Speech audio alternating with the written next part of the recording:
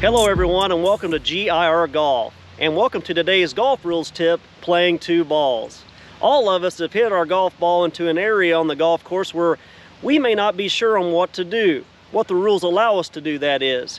So in that event, if you're playing a stroke play uh, tournament, then you are allowed to play two balls and write down the score of those two balls and sort out the matter later. And that's what this video is going to show us in detail on how to do that. I'm going to have a real world situation out here where I may not be certain on what action to take according to the rules. We're going to show you what the rules allow you to do in regards to playing two balls. With that being said, you'll notice I said stroke play. If you're playing a match play uh, tournament, meaning you're just playing one-on-one -on -one with a fellow component, or excuse me, a fellow opponent, that is, uh, this rule you cannot use. If you're playing match play, you must work out the situation with your opponent or call for a rules official to get that situation taken care of right there during that hole. Otherwise, uh, you don't have the option of playing two balls in match play. Again, this is only stroke play. If you're uncertain about what course of action to take, this uh, rules video is really gonna help you. Let's get to it, let's have some fun. Okay, let's have some fun with this golf rule on playing two balls. Let's pretend I'm playing a par four and my tee shot landed right here, shot number one. Now, you can see in the distance there on my green I've got a flag. That's my golf hole today. And however I've got these two electricity poles in my way. I'm gonna get up here and hit my shot. Let's see what happens.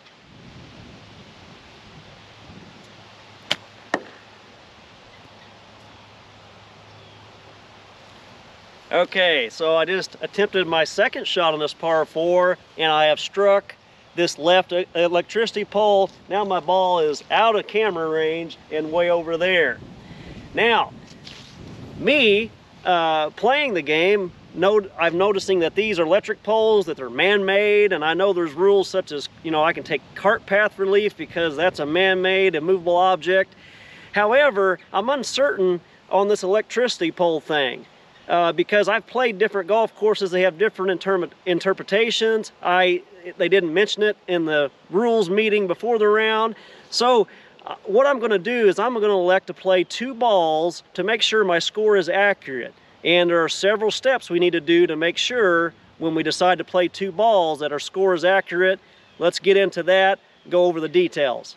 Okay, so step number one in playing two balls when you're in a situation like this where you're uncertain what to do in stroke play, again, you cannot do this in match play, is to first notify your fellow competitors that you're going to play two balls because you're uncertain. So that's step number one. Along those lines, I'll give you a little tip out there. Your fellow competitors will probably have an opinion on what you are to do, and they'll probably try to, they may even know, they may really know, uh, but there again, uh, you are responsible for your actions. So if there's not a rules official around, go ahead and play two balls. The rules of golf allow you to do that. There's no harm in doing this. Um, just remember that and just tell them respectfully, hey, you know, I, I respect your opinion on the matter, but I'm honestly unsure. I want to make sure my score is accurate, and we'll just deal with it after the round with the rules committee. So step number one, notify your fellow competitors. Now, step number two I need to decide right now which of these two balls is to count in the event that both of them do count and uh, abide by the rules of golf. For example, I, I play both of these balls and I get a three with the one I replay and I get a four with the one I play as it, as it lies. Uh, I cannot at the end, when the rules committee tells me, hey, both of them counted, uh, which one do you want? I can't pick the birdie, for example. So I have to decide that now in the event that both of the both of these options I choose uh, account. So I'm going to let my fellow competitor know right now that I want to uh, have the one that I retry here hitting shot two to count in the event that both count. So that is step number two, decide which ball is to count if both balls do. Step number three is to simply play the both balls from the respected locations and note down their scores.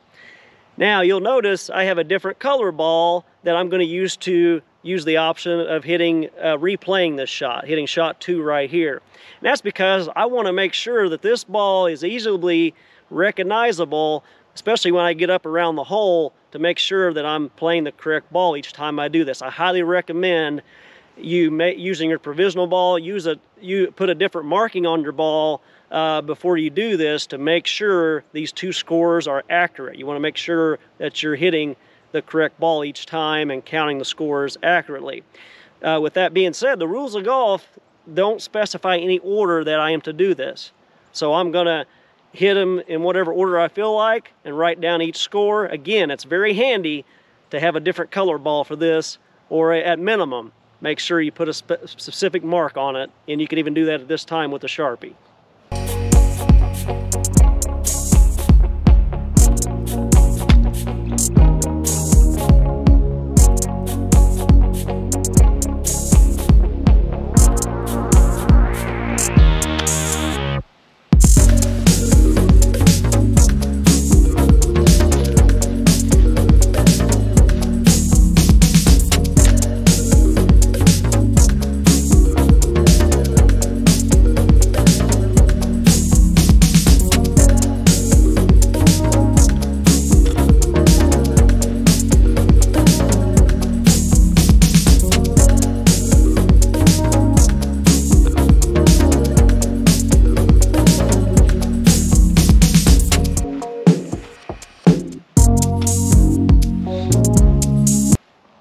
All right, so step number four in playing two balls is to take the results of your two balls at the end of your round to the rules committee and go over what happened in detail with them before you sign your scorecard. Again, make sure you do all this, sort it out before you sign your scorecard with the rules committee because they have the final say on what actually is your accurate score in the scenario.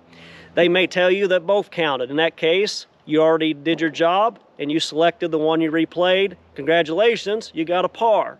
They also, they also may tell you you had to play the balls at lies. And hey, you did that, you know, congratulations. You know, you got a bogey, uh, not as good a result, but at least you had a, an accurate score where you did not get a penalty invoked on you on top of your score. So that's where it really helps you. Uh, from my experience with uh, electric poles, we have uh, a lot of those on we have some courses around my hometown here where electric poles are a part of the course. They're on there. Electric lines cross a few holes.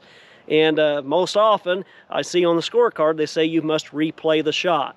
Uh, you don't have any options. So if I just went up there in this example and played the balls at lies, uh, and I had and I did not play two balls, assuming you know that that's what I needed to do, uh, I didn't have the option of I didn't utilize the option of replaying it my score would not be a five, it would be a seven on this hole because that would have been a two stroke penalty because I played the ball from the wrong spot.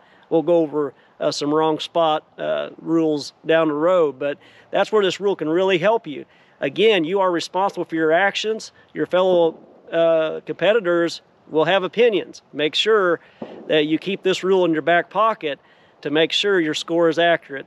Hopefully this has helped all of you out there, help you save some strokes down, down the road uh, those, uh, those of you that play in tournaments. Remember to smile often, have fun. God loves you. We'll see you next time.